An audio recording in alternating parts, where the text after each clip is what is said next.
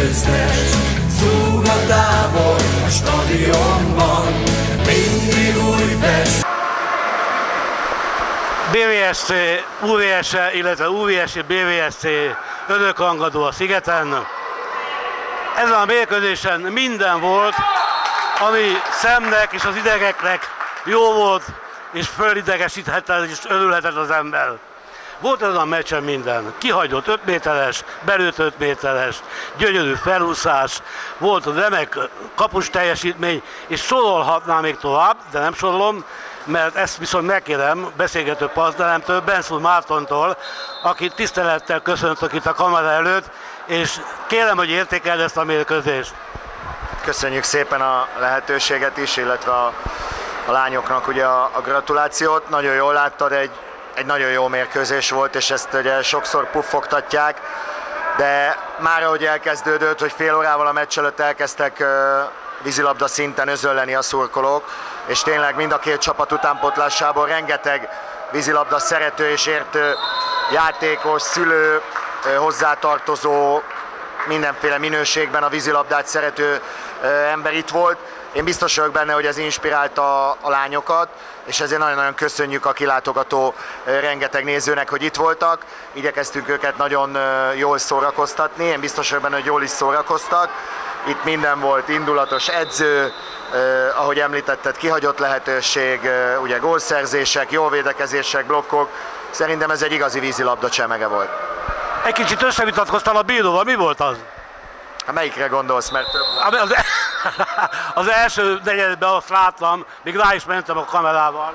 Igen, hát most ha már így belekérdeztél, nekem az a véleményem, hogy egy időkéréses fort elvenni egy ilyen finoman szólva is fura dologgal, hogy az egyik játékosot csapkod egy kicsit, tehát ha az összes ilyen fogást, dressz készszorást lefújnánk, akkor itt nem lenne vízilabda.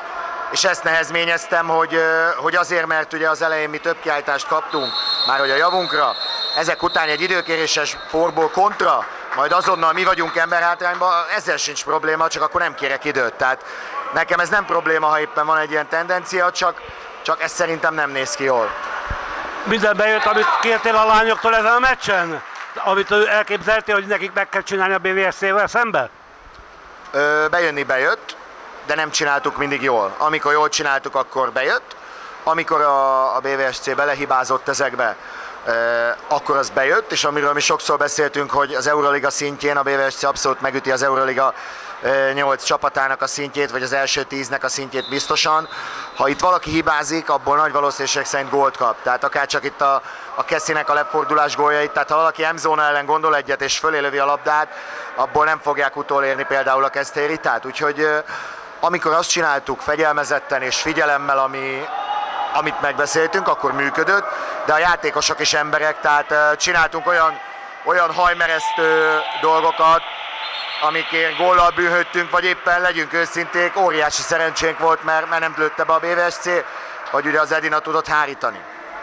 Az egyik mondatottal mindjárt átvezettél egy másik kérdésre, az Euroligiára.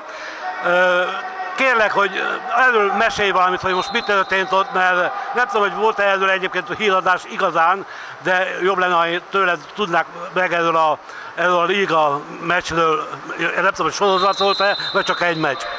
Hát ahogy szokták mondani, nyomokban tartalmazta különböző médiumokban a, a női vízilabda csapatok Euroliga szereplését a különféle hírműsorok, vagy, vagy éppen csak bármilyen formájú híradások.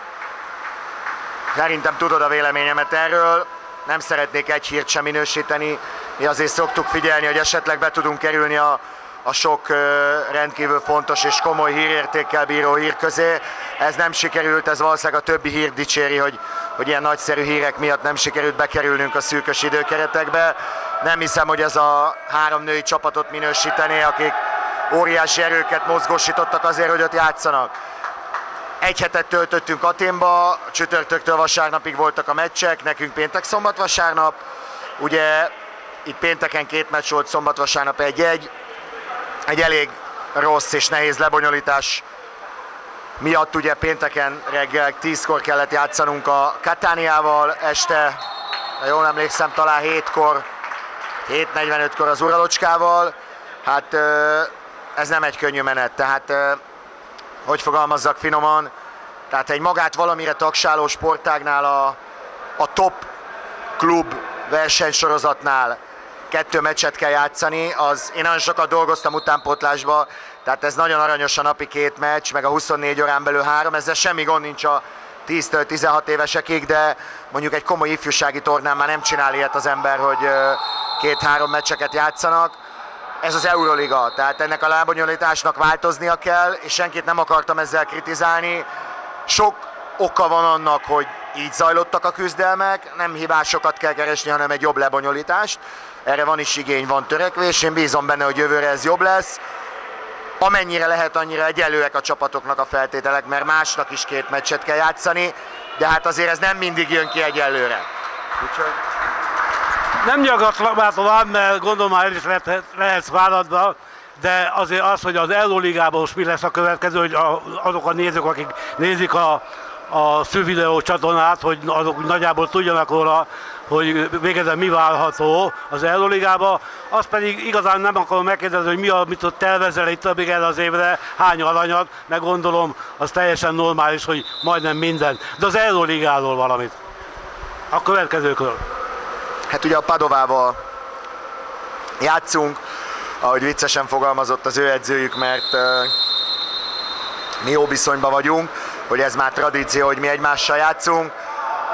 Persze, hát én hallottam már olyat, aki hisz a véletlenekbe, meg hallott olyat, aki már látta, hogy valaki találkozott ilyennel, aki hallott róla. A viccet félretéve a Padovát kaptuk a sorsolásnál, gyakorlatilag négy éven belül, talán háromszor. Ugye a Materóval játszottunk talán még most, ha így lehet, hogy pontatlanul fogalmazok. Egy kiváló csapat lesz az ellenfelünk, kiváló edzővel, kevés vagy kevesebb top játékossal, de egy elképesztően jól összeszokott csapatjátékkal, és ezen a szinten a csapatjátékok döntenek. Tehát fontosak az egyéniségek, de ahogy itt a sajtótájékoztatón is beszéltünk, ahol csak a sajtó nem volt, ha nem lehet mindig arra appellálni, hogy a Geszter Rita mondjuk 6 gólt fog lőni, vagy a csapatokban az aktuális mondjuk húzó ember. Örülnénk, ha mindig így lenne, de a csapatjátéknak kiemelkedő a szerepe.